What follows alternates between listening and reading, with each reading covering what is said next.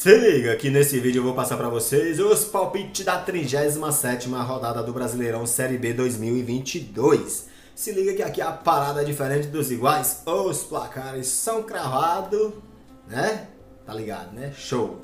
Mas pra gente começar, se você aí do outro lado da telinha, meu amigo ou minha amiga torcedora, coisa linda, deixa o teu like, comenta, compartilha com os amigos também ah, agora sim, sem mais enrolação, Carlão.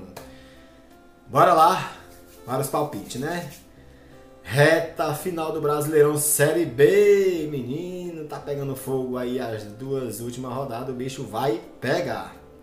Primeiro confronto a gente tem aqui Brusque e CRB. O Brusque, meu amigo, acabou pro Brusque, tá com um passaporte aí cravado para a Série C em 2023. Mas bora lá. O Brusque ele é o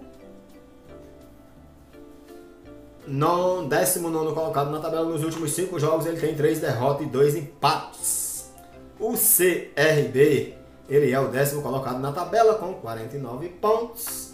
Nos últimos 5 jogos, 2 derrotas e 3 vitórias. O Brusque joga em casa, mas. Hum, hum, hum. Eu vou de CRB, vou colocar um placar de 2 a 1 para o CRB. Segunda opção, empate com ambas marcando, beleza? Bora lá, CSA e Vila Nova. Mano, se você me acompanha aqui no Car Futebol, o bicho tá pegando pro CSA. Só para você ter uma ideia, ele precisa ganhar esse jogo e o próximo para poder fugir, dar um pulo da zona de rebaixamento. Lembrando que para ele sair, o Novo Horizontino tem que perder e vai jogar, ó contra o Cruzeiro. É, o bicho tá pegando aqui. Nesse jogo aqui, bora lá. O CSA ele é o 17 colocado na tabela com 39 pontos nos últimos 5 jogos, 3 derrotas, um empate e uma vitória. A última vitória fora de casa contra a Ponte Preta. Foi muito bem, né? Só que em casa ele costuma perder e vai pegar o Vila Nova que vem muito bem, né?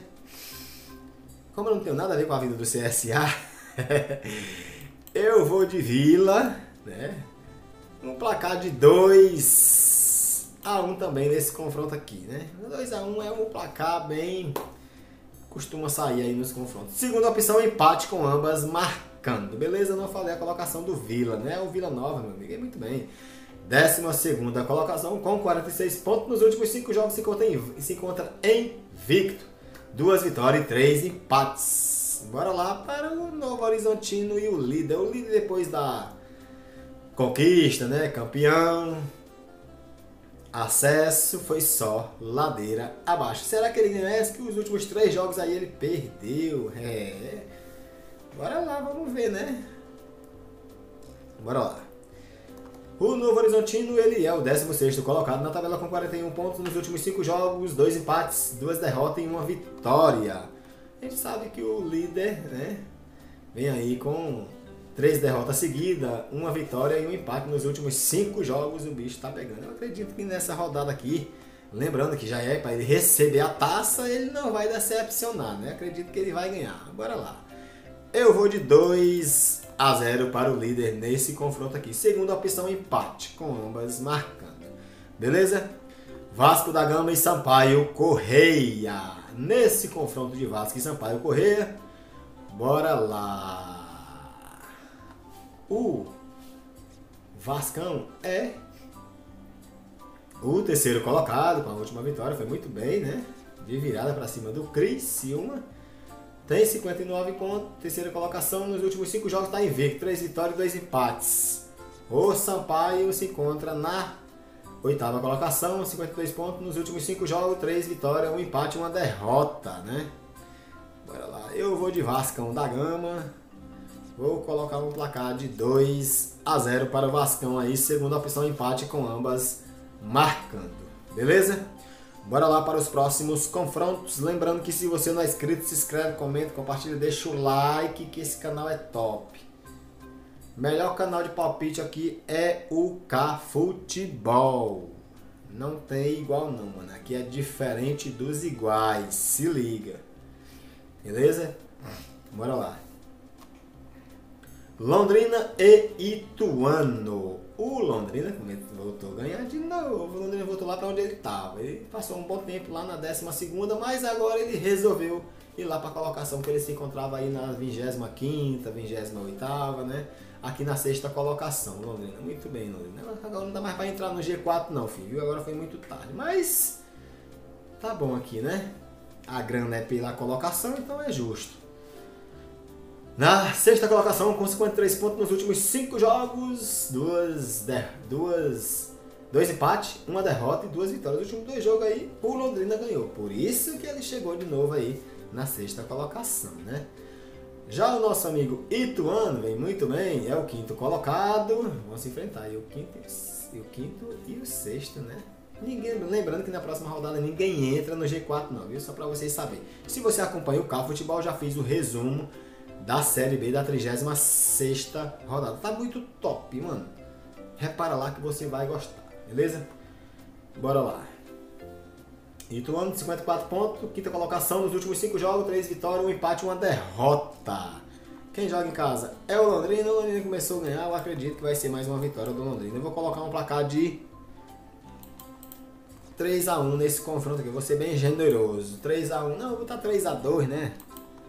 Um confronto aí de 5 gols, dois times bem competitivos, gosta de fazer gol. Né? 3x2 aí. Segunda opção, empate com ambas marcando. Acho muito difícil do Ituano ganhar do Londrina na casa do Londrina. Apesar do Londrina ter vindo decepcionando aí, mas ele melhorou de novo. Né? Acredito que no final da rodada aí, final do campeonato, aliás, ele não vai decepcionar, né? Bora lá. Próximo confronto a gente tem aqui Esporte Recife e Operário. O Operário já ganhou o passaporte dele também para a Série C. É justo na colocação que ele se encontra, né? O Sport Recife ele é o sétimo colocado com 53 pontos nos últimos 5 jogos. Tem 3 vitórias seguidas aí, um empate e uma derrota. Os últimos dois jogos ele empatou um e perdeu o último, né? É, mas vai jogar em casa agora contra o Operário que não vem muito bem. O Operário ele é o 18º colocado na tabela nos últimos 5 jogos, 3 empates e 2 derrotas. Eu vou de esporte. Na minha humilde opinião, 2 a 0 para o Esporte Recife. Não tem empate nesse confronto. Aqui vai dar esporte. Show? Bora lá. Segue aí. Bahia e Guarani. O Guarani vem muito bem e o Bahia vem decepcionando. Se o Bahia tropeçar nessa rodada e na próxima ele pode sair do G4. Bahia, meu amigo, se liga. É, se liga, que já tem dois lá para Elite em 2023. Você pode ser o quarto, mas se você tropeçar esse e o próximo, você pode ficar aqui na Série B, né? O Bahia ele é o quarto colocado no momento. Nos últimos cinco jogos tem uma derrota, três empates e uma vitória. E aí, dois jogos que o Bahia não ganha uma. Vai jogar em casa contra o Guarani, só que o Guarani melhorou ele virou assim da água pro vinho do nada. Vem muito bem o Guarani, né? Nesse exato momento ele se encontra na 11 colocação. Muito bem o Guarani. Aí 100% sem chance de. Né? Nem conta mais. Na 30 na 33 rodada ele já, saí, já tinha saído da zona de rebaixamento há muito tempo. Bora lá. Ele tem aí, ó. 47 pontos nos últimos 5 jogos. Tem aí Quatro vitórias e uma derrota o Guarani. Vai ser mais uma vitória do Guarani. Lembrando que o Guarani ganhou do líder, meu amigo. Ele ganhou foi do líder, viu? Vai ganhar do Bahia. Que conversa é essa, rapaz? É mais um jogo fora de casa e eu vou de 2x1 um para o Guarani. Ora. Vai dar Guarani. Segunda opção, empate com ambas marcando, beleza? O Tom Bense que tomou a última rodada e o imortal que conseguiu acesso na última rodada. E o Grêmio vai pro Brasileirão 2023. Cuidado, Grêmio, tu não voltar de novo pra cá. pra cá, viu? Cuidado, que a negada lá não brinca serviço não. Bora lá. O Tombense que vive tombando é o 14 colocado na tabela nos últimos 5 jogos, tem 44 pontos. Ele tem aí uma vitória, 3 derrotas e um empate. O Grêmio, ele é o segundo colocado, já conseguiu acesso. Ninguém mais pode tirar esse feito do Grêmio, né? Nos últimos cinco jogos tem 61 pontos, tem aí uma derrota, dois empates e duas vitórias. O Grêmio quando joga fora de casa costuma perder, mas eu vou acreditar nele dessa vez. Mais uma vez aqui, né? Fazer igual o Renato Gaúcho. Vou dar uma, fazer uma jogada de mestre. Finalzinho do campeonato, Renato Gaúcho foi lá e ó, minha, ficar aqui no Grêmio de novo, aí a gente passa pra Elite e eu levo crédito. É justo? Na minha humilde opinião, não, mas fazer o que, né? Fazer o que? Eu vou de Grêmio. Vou colocar 1x0 pro Grêmio aqui. Segunda opção, empate com ambas marcando. Porque o Grêmio quando joga fora, é isso, ele costuma perder, né? Então eu vou botar 1x0 aí porque o Tom também não vem bem. Então 1x0 para o Grêmio. Segunda opção, empate com ambas marcando, beleza? Bora lá para os últimos dois confrontos aqui. Ponte Preta, que o negócio ficou preto para Ponte no último jogo, e o Criciúma que não cresceu para cima do Vasco, né? Começou crescendo ali mais do meio pro fim, foi diminuindo, diminuindo. E o Vasco foi lá e virou a parada. Bora lá. A Ponte, ela é a décima terceira colocada na tabela com 45 pontos nos últimos 5 jogos. A Ponte vem decepcionando, precisa de uma vitória aí, né? Três derrotas e dois empates nos últimos cinco jogos a Ponte. O Criciúma é o décimo colocado na tabela nos últimos cinco jogos, com 49 pontos. Tem aí duas derrotas e três vitórias. Eu vou de Ponte.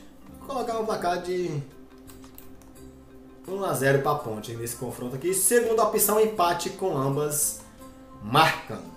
Beleza? Aí nós temos aqui no último confronto para encerrar aqui a 37 rodada de palpite do Brasileirão Série B 2022. A Chape recebe o Lanterna e já esse aqui foi o que conseguiu a primeira classificação para a Série C em 2023 foi o Náutico. É. Surpreendeu, mesmo na zona de rebaixamento, vinha ganhando o jogo, mas não conseguiu sair. No meio por fim foi só ladeira abaixo.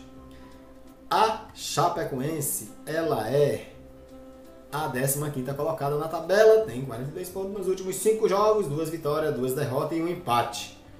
O Náutico é o 20 colocado, 30 pontos nos últimos 5 jogos, 4 derrotas e uma vitória. Eu vou de Chape. 2 a 0 para a Chape aí. Muito difícil a Chape empatar, mas pode acontecer. Mas eu vou de 2 a 0 para a Chape, na minha humilde opinião. Só vitória da Chapecoense. Beleza? Lembrando que se você não é inscrito, eu já te convido a fazer a tua inscrição, ativa o sininho para você não perder nenhum conteúdo exclusivo do canal. Deixa teu like que é muito importante, compartilha com os amigos torcedores também, beleza? Valeu, fica na paz, tenha uma ótima segunda-feira, uma ótima semana e até a próxima. Tchau!